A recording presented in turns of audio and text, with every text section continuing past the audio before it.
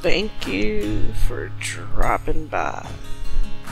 This is Dio, and today we'll be going on an adventure in Black Desert Online. In today's adventure, we're going to be exploring a feature in video that I believe is highly underrated but deserves more of our attention. Whether we realize it or not, this feature is something that we tend to use on every playthrough of BDO. And the feature that I want to highlight today are the many menus that we have to use in BDO. Let's go ahead and kick things off with the HUD. The horse icon, if you have one out, is going to show your horse's stamina, health, and whether it's a courser or not, depending on the color of the horse emblem. Moving on, we'll go ahead and take a look at the residence icon, which is going to have listed any properties that you've purposed specifically as a residence. You can also use the navigation button in the menu to go ahead and travel to your home if need be. Just keep in mind that you can only have up to five residences at a time. Our next icon is going to be the pets menu, which is going to have listed any and all pets that you've acquired either via story or from Pearl Shop. All pets can be placed into a group, but you can only have up to 5 pets per group. So you can use a group command to take out any of the pets that you need. It's best to have pets placed in groups based upon their skills that you'll see in the top right corner for each pet so that you can get the most use out of your pet groups. Next up, we have the Fairy Maids. And these guys' purpose is to allow you to have remote access to your storage and warehouse if you need these in a pinch. Fairies are limited on the number of transactions that they can do and their cooldown is about 20 minutes each fairy so it's best to use fairies wisely. Storage fairies can only access the storage of the nearest city. So for me, because I'm in Calpheon, I can only access a Calpheon storage, while warehouse fairies have full access to warehouse items. You can both transfer and receive items from the storage or the warehouse. Just keep in mind that each action is considered a transaction. A fun fact about fairies is that you are able to have them to be visible within your residence, and that limit is up to 17 fairies. For its next icon, we'll briefly touch on tagged characters you are able to tag up to two characters per account, but they must be within the same city in order for them to be tagged. I'll make a full guide on tagging characters later on. The last icon that we're going to look on at this tray is going to be the personal fairy icon. Now for some reason this icon tends to be bugged so the other way that you can access your fairy menu is under functions and you click on fairy and this is going to be the menu that you're going to be brought to. Fairies come in a lot of varieties and they have a lot of abilities. Some are more useful than others, but we're not going to go into detail with that today. I will have a full guide on fairies later on down the road. For the next segment of the video, we're going to go ahead and take a look at the icons that are right next to the map with all the tiny symbols in the square. All of these tiny icons are actually navigation buttons. So that if you're in a major city like Calpheon and you need to see someone like the material vendor, you can just go ahead and click on that icon and it's going to set a navigation path to the nearest NPC. Another way that you can also achieve this is by clicking the find NPC icon while you have the map open and you're just to go ahead and either click on the material icon that's in the list above or you can type in the name and find all the same vendors across the entire map. If for some reason you don't like looking at all those icons at the top, you can go ahead and click the arrow right next to the map to make them disappear and then click them again to bring them out when you need them. For the map, we do have a node connector so that if you're working on a worker empire you can go ahead and check which nodes will go to what before wasting any energy. This icon brings up the settings for navigation on the ocean and on land. Next up, we have the bartering menu, which you're going to be using when you're doing the bartering life skill and of course sailing over the ocean. However, we're not going to go into detail into this today. It's a complex system of its own but definitely deserves an honorable mention here. I will be doing a full guide for bartering in its own video. Next up, we're going to look at the auto navigation presets. These presets will be saved whenever you have certain auto paths that you want to keep using for things like leveling up your horse or other common routes that you tend to take. The way that you create and save an auto path is that you go ahead and set a certain point on the map and you're going to go ahead and choose auto path from there you're going to go ahead and save the auto path in presets 1, 2, or 3. And with that out of the way, we'll go ahead and view the Find Me icon.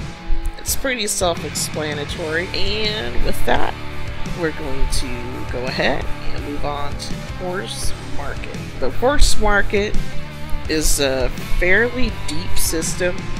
We're not going to go into too much detail today just so that you can register horses into the market at a stable keeper and you can also view horses that other people have listed and if you're looking for a particular horse you can then go ahead and search by tier you can search by skill you can also search by gender there are several costs that are associated with horses the horse market and taxes with the horse market as well. But we will go ahead and cover those details in a different video. And while we are on the topic of horses, we'll go ahead and cover the transport icon. Transport is when you are transferring inventory from one city to another via a wagon system. When starting out, you're provided with six wagons that you're able to use for transport. You're able to load up to 20 slots of items. There is a weight limit. And you definitely want to make sure that the place you're transferring items to has enough inventory spaces for you to accept the items once they arrive. There are fees associated with storage that is paid by the silver that you have in your storage inventory. Now that we're done horsing around, let's go ahead and take a look at the next icon, which will open up the Central Market menu. If you're new to the Central Market or you don't use it a lot, the Central Market is basically where you're going to be spending all the silver that you've been grinding for hours on end. The Central Market does allow you to see the performance of items up to a three month time period so that you can gauge when it's going to be a good time to buy or sell something. If for some reason you don't have a specific item in mind, you can go ahead and do a search on the central market based on either the grade of the item, so the colors that you see where it's white, green, blue, yellow, red, so on. You can also search items via inventory if you're someone who buys in volume. If you're looking for things like boss gear or armor, you can click into specific items and they will have different grades all the way from base to pen and even within each grade if you go ahead and click into the grade that you want there will be a price range within that grade another function that the central market does serve is if you're one of those people who just do not want to spend real life money on the game, you can go ahead and purchase pearl items with silver for the most part. But as you can see, there's a lot of other people that have pre-orders in and you better hope your pre-order gets filled within the first couple of days or else you may need to cancel and relist your pre-order and hope that you get lucky. And since we've already brought up pearls, we'll go ahead and take a look at the pearl shop. This is probably the only video that I'm going to dedicate to the pearl shop because I do not to encourage any overspending for people who are either on a budget or do not want to spend too much in the game. But basically, the Pearl Shop is going to contain items like value packs, exchange coupons, pets that are Pearl exclusive, like the Hedgehog, and there will be occasions to where you can find items that are being sold for silver instead of pearls within the pearl shop. This is typically only during events, and they're usually a once a week item or a one per family item. If for some reason you miss out on some of the silver items in the shop, there is a loyalty section that you can use your loyalty points that you accrue for logging in every day. And that is going to be my brief for the Pearl Shop. Moving on to the more fun items, we're going to go ahead and cover the bottom section, kicking off with the Black Spirit Adventure Board, which will pull up the mini game which is basically free items that you can roll for three times a day. Following up is the Black Spirit Safe, where you're going to pick up your rewards from login in the adventure.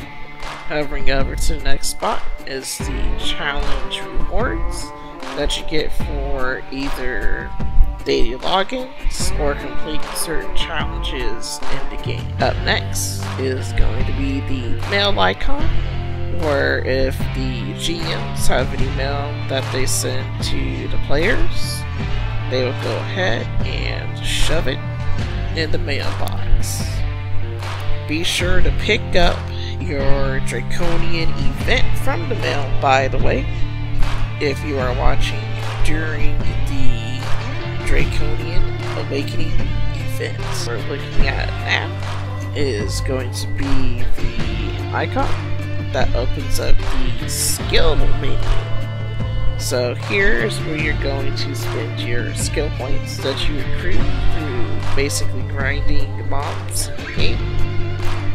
And you can go ahead and set your points under either Succession or Awakening, depending on what you've chosen or how far you are in the game. Skills that are available for leveling up are going to be flashing a bright gold color. Some skills can be upgraded by combining two base skills to create a completely new skill that, for the most part, you can either add to your skill bar or use when you feel is necessary.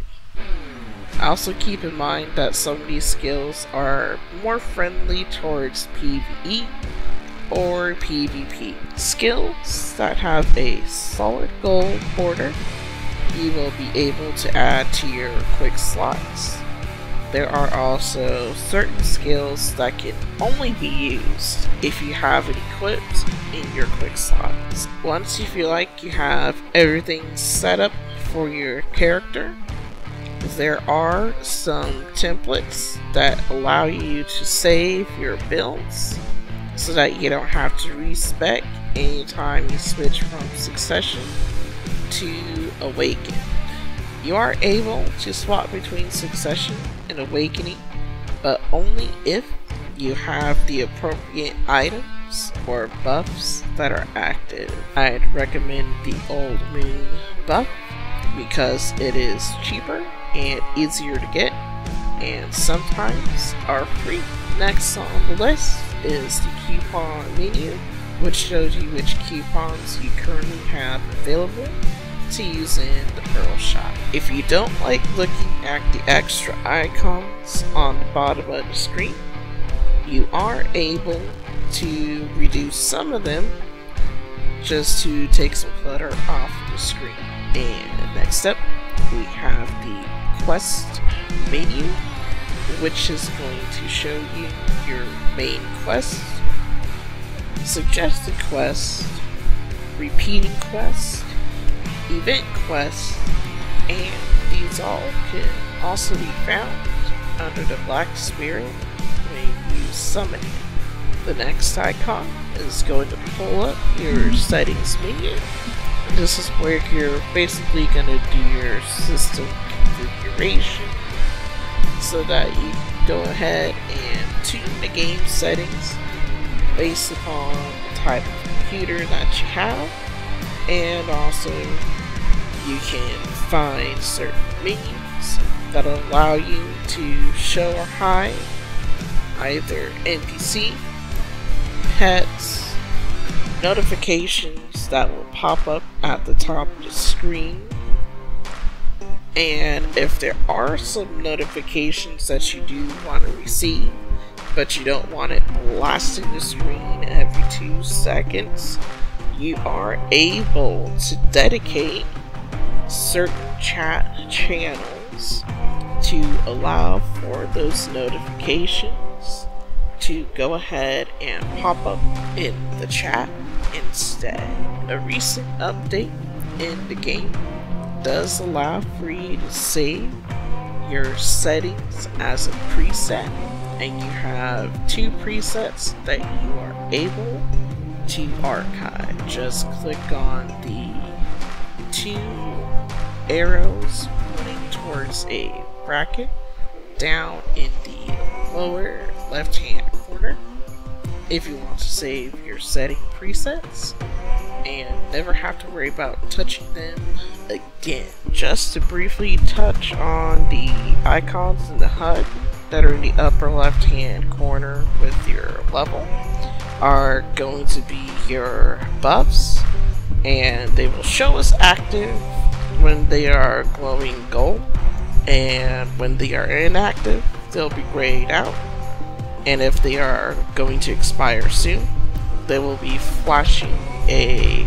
red and when you first log in a little notification will pop up and let you know that your buff is going to expire soon. Going into the next menu that you're probably going to be spending the most time in is going to be your character inventory menu. Here is where you get to basically see your character's inventory, the pro items that your current character has. You can also see your family inventory and transfer over items between your character's inventory and the family inventory as needed. Over on the left side is where you to see your character's equipped items, along with some tooltip information that'll let you know your current AP, DP, and you also have a few buttons that'll let you mess with your character's appearance. While going through the tooltip, you'll notice that you have a few options that'll give you some extra information on your character that isn't available on the main menu screen. One quick tip about your inventory is that you are able to check on and off auto range, which is actually going to be necessary to combine certain items together in order to make a new item, which is usually done during specific quests. Heading over into our next menu is going to be a more detailed breakdown of your character in terms of its major stats, more tooltip options, as well as your character and family's fame. Fame is normally accrued by increasing your life skills, your contribution points, and also a combination of your entire roster of characters' contribution points and life skill points. So if you're someone who's an alcoholic, you can go ahead and make every character a life skiller, complete all the necessary quests, grind as much contribution as possible to your heart's desire, and maybe one day you'll probably have the highest family fame in the game. Now, now we're going to go into the menu that should be everyone's favorite and that we spend an ungodly amount of time in, and that is the beauty menu. The beauty menu lets you go ahead take screenshots of your character feel like updating their image you can go ahead and start the hair salon routine by choosing a hairstyle change the shape of the hair to make it curly and then of course change the color of the hair once you feel like your hair looks great that's when you go ahead and move into the most fun menu within parlor. Basically where you work on your face, facial hair, makeup, face tattoos, and you can even change the structure of your face so that you can make it look as kawaii or ugly as you desire. Please be warned you can literally spend hours, literal hours, just in this one menu alone trying to get the perfect look for your character because you cannot have this level of detail of character creation and any other MMO that's currently on the market. So if you want to roleplay as your favorite fictional character, or you're making an original character and just trying to find the right look for them, be prepared to basically spend a weekend or an off day, whatever time that you have living within this menu. Going back to the character menu, you can find titles that you've earned on your character by either quests, gaining knowledge, killing mobs, doing certain life skill achievements, and certain fishing titles. Collecting enough titles is going to give you an increase to both your luck and your stamina once you go through all of the tier. We'll be breezing through the main menu since we've basically gone almost all of the options throughout the video. This is just a quick access to some of the things we've covered.